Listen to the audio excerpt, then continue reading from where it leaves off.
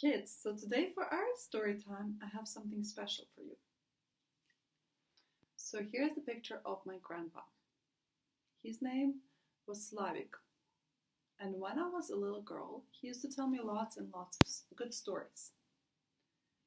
And one of the stories he told me was about the white mitten. So when Slavik was five years old, like you logic, he asked his grandma to knit him white mittens. But his grandma said, No, Slavik, I cannot knit you white mittens. If you lose them in the snow, you won't be able to find them. I'll knit you blue mittens like the sky. But Slavik said, No, Grandma, please, please, please. Can you knit me white mittens like the snow? So Grandma said, All right, I'll knit you white mittens like the snow. When she was done, she gave mittens to Slavik, and Slavik put them on very quickly and wanted to go outside and play in the snow. He asked his mom if he could go close to the house in the forest, and his mom said, All right, but I'll come with you. So they both went into the forest and they started playing in the snow. They made snowballs and played with each other, and they also made a big, big snowman. And they had so much fun together, but it started getting dark. So he, his mom said, Okay, Slavik, it's time to go home. They went home, and as they went home, reached home, Slavik discovered that he was missing one mitten. He was so sad he wanted to cry.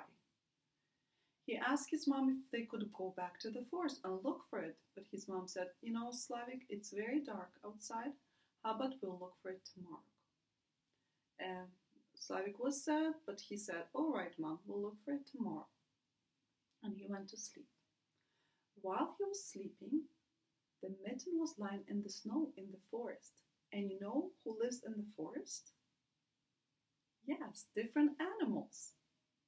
So the first, a little tiny mouse came to the mitten and decided to run in. She sat down in the mitten and she discovered it was very warm and cozy. As she was sitting there, she heard a knock from outside and a voice. Hello, who lives in the mitten? And the mouse replied, Crunch, crunch the mouse, and who is there? Hop, hop the frog, could I come in? And the mouse said, Okay, come on in. And so there were two of them sitting in the mitten. As, and as they were sitting, they heard another knock. Hello, who lives in the mitten? And they said, Crunch, crunch the mouse, hop, hop the frog. And who is there? It's me, Fleet, Fleet the rabbit. Can I come in? And they said, Okay. So now there were three of them there. And as they're sitting nice and cozy in the mitten, they heard another knock. Hello, who there? Who lives in the mitten? They replied, Crunch, crunch the mouse, hop, hop the frog, fleet, fleet the rabbit. And who is there? Woof, woof, the wolf. Can I come in? And they said, Okay. So now there were four of them there. And as they were sitting in the mitten, nice and cozy, they heard another knock. Hello, who lives in the mitten?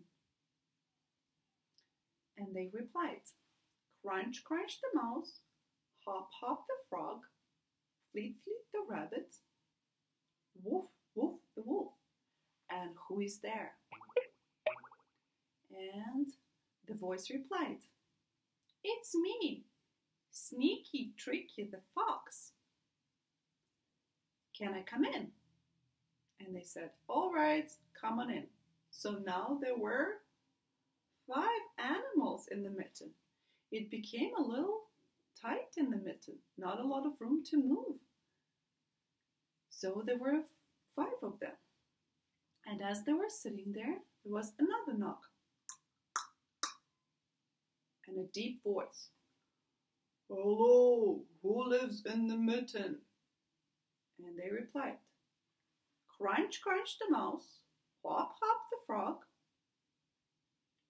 fleet, fleet, fleet the rabbit, woof, woof the wolf, sneaky, tricky fox. And who's there? Grumpy, Grumpy the bear. Can I come in? They looked around. There was not enough room, but maybe for one more. And they said, Come on in. So now there were six of them. And it was getting pretty tight in the mitten. And as they were sitting there, they heard another knock.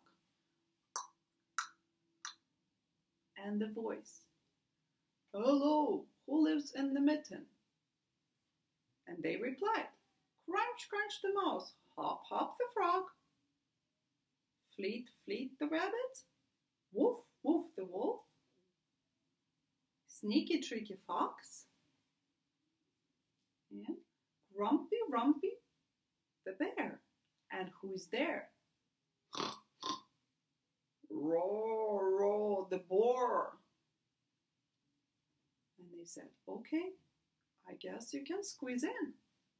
So the boar tried to squeeze into the mitten, but it was so tight. And as he squeezed in, his, his tail was outside and his paw was outside. There was not enough room.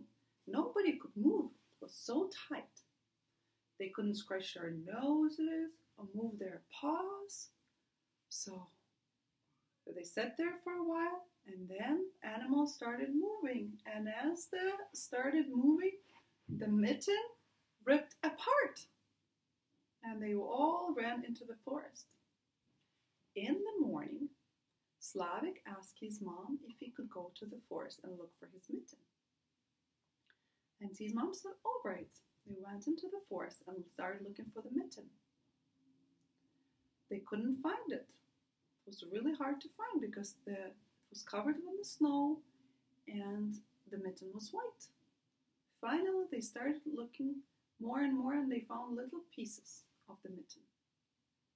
So Slavik gathered it together. It was very sad it was ripped apart, but he took it to his grandma and said, Grandma, I'm sorry, I wanted a white mitten.